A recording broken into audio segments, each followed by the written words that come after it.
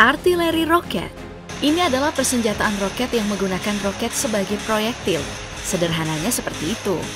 Di abad pertengahan, penggunaan artileri roket sudah dipakai oleh Tiongkok. Sementara untuk artileri roket versi modern, dipakai di era Perang Dunia Kedua. Nah, apa keuntungannya? Daya tembaknya itu sangat besar dan hanya dalam waktu singkat. Dalam beberapa dekade sejak Perang Dunia Kedua, Dua negara, Amerika Serikat dan Uni Soviet, terus mengambil peran dalam mengembangkan artileri roket sampai semematikan sekarang. Dan sekarang di Perang Ukraina sedang berlangsung adu kecanggihan artileri roket. Amerika Serikat mengirimkan HIMARS, roket artileri yang punya mobilitas tinggi di Ukraina. Sementara Rusia, Rusia sendiri punya TOS-1 ini adalah roket peluncur Soviet yang bisa menggunakan hulu ledak termobarik yang cara kerjanya menyedot oksigen dari sekitar untuk menghasilkan ledakan bersuhu tinggi. Toswan dipasang di tank T-72. Toswan dirancang untuk menyerang posisi benteng musuh serta kendaraan dan transportasi lapis baja ringan, khususnya di medan terbuka.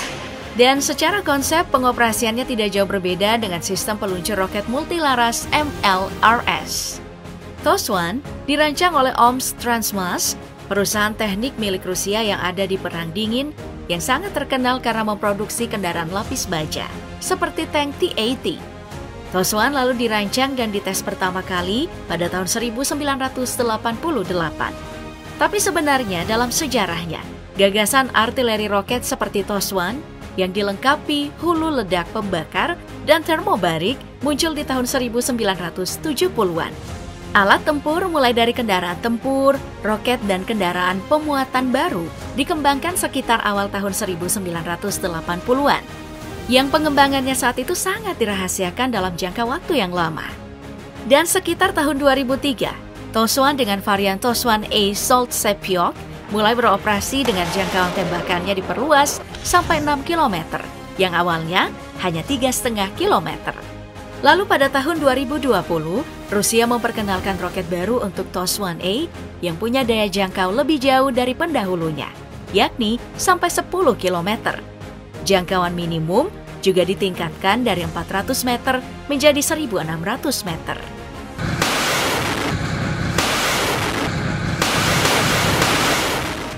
Sistem TOS-1 di era modern ini, varian yang paling dikenal adalah TOS-1A Buratino.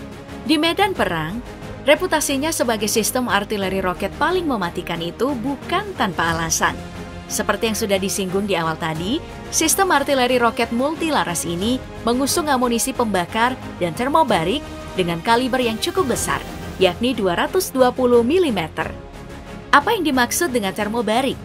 Nah, senjata termobarik adalah bahan peledak berbahan bakar udara atau FAE di Rusia, senjata jenis ini biasa juga disebut dengan bom vakum. Secara sederhana, bom ini memanfaatkan oksigen di sekitarnya untuk memicu ledakan bersuhu tinggi, lebih tinggi dari bom konvensional. Jika bom konvensional, bahan peledaknya adalah campuran dari bahan bakar sekitar 25% dan pengoksidasi sekitar 75%, bom vakum menggunakan 100% bahan bakar. Dalam perkembangannya, bom vakum sebenarnya sudah muncul di era Perang Dunia Pertama oleh Angkatan Bersenjata Nazi Jerman. Lalu bom vakum ini dikembangkan oleh Amerika Serikat untuk digunakan dalam Perang Vietnam sekitar tahun 1970-an. Cara kerjanya terdiri dari dua fase. Fase pertama, bahan bakar menyebar di udara lalu meledak. Ledakannya lalu akan menyedot oksigen dari udara karena bom ini tidak mengandung bahan oksidasi. Setelah itu, terciptalah efek vakum atau hampa udara. Apa bahayanya? Bagi manusia, ini sangat mengerikan karena bisa langsung jadi abu ketika berada di pusat ledakan dan hampir tidak mungkin berlindung dari dampak destruktifnya. Makanya, penggunaan bom vakum disebut sebagai tindakan yang berbahaya dan merupakan senjata terlarang. Senjata ini bahkan disebut senjata paling mematikan kedua setelah bom nuklir. Bom yang dijuluki induknya semua bom dalam aturan internasional sebenarnya tidak secara jelas melarang untuk target sasaran militer. Tapi jika digunakan untuk menarget sipil, pelakunya bisa didakwa melakukan kejahatan perang dan termasuk sebagai kejahatan internasional.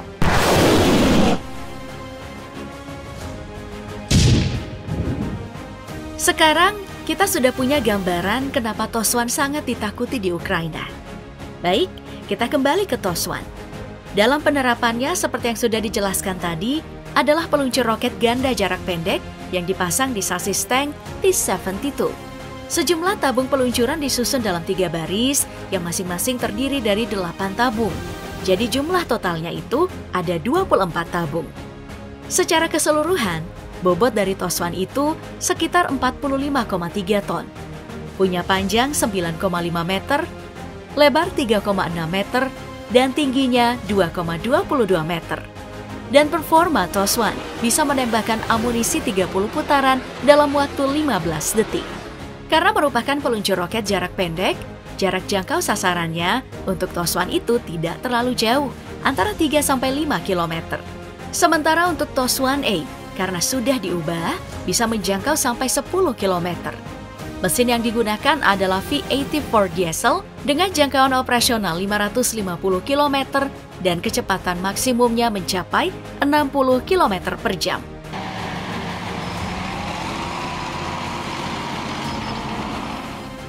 Sebagai bom mematikan Rusia, Toswan pertama kali diterjunkan di medan pertempuran saat Perang Afghanistan di akhir dekade 80-an. Lalu sistem peluncur roket ini digunakan juga dalam Perang Chechnya kedua. Sementara untuk varian TOS-1A digunakan pertama kali dalam pertempuran di Irak oleh tentara Irak untuk merebut kembali Jurf al-Sakar dari pasukan ISIS di tahun 2014. Toswan juga aktif di Suriah tahun 2015 yang digunakan oleh pasukan Angkatan Darat Suriah melawan pemberontakan di Hama. Tahun 2016, senjata ini juga digunakan melawan pasukan pemberontakan di pegunungan Latakia. Azerbaijan juga menggunakan TOS-1A untuk melawan tentara pertahanan Nagorno-Karabakh di tahun 2016. Selama invasi Rusia ke Ukraina, unit yang digunakan adalah TOS-1A.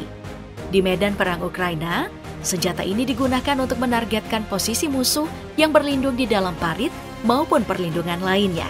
TOS-1 juga digunakan pasukan Rusia untuk menyerang beberapa pembangkit listrik di kawasan pedalaman Ukraina untuk memutus pasokan listrik di beberapa daerah Ukraina.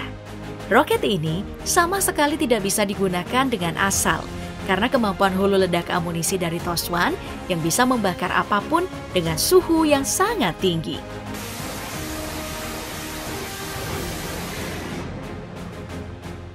Bisa dibilang, Toswan jadi salah satu senjata paling brutal yang diturunkan Rusia di perang melawan Ukraina dan sampai sejauh ini tidak ada cara untuk melawan senjata berbahaya Toswan. Terbukti, Toswan sudah menyebabkan kerusakan yang signifikan di medan perang. Gelombang ledakannya lebih lama bertahan daripada ledakan konvensional. Nah, apakah Toswan benar-benar tidak bisa ditaklukkan? Sebenarnya bisa. Hanya ada satu cara untuk melawan senjata ini. Cara tersebut adalah militer Ukraina harus dengan cepat mendeteksi keberadaan Toswan dan menghancurkannya sebelum mulai beraksi atau sebelum mencapai zona perang.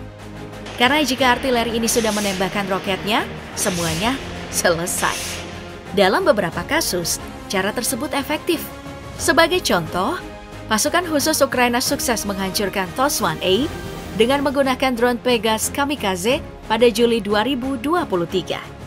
Di bulan yang sama, petani Ukraina juga menarik satu unit Toswan yang berhasil dilumpuhkan.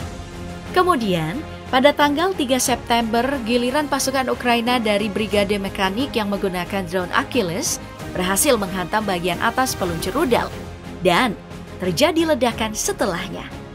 Yang menariknya, Toswan yang harganya sekitar 6,5 juta US dollar atau sekitar 100 miliar rupiah justru harus takluk oleh drone yang harganya hanya 450 US dollar. Toswan yang merupakan senjata termobarik sebenarnya juga bukan tidak punya kelemahan. Senjata termobarik adalah senjata yang membutuhkan oksigen untuk meledak. Makanya, bom ini tidak efektif jika digunakan di bawah air atau pada ketinggian tertentu atau pada saat cuaca buruk.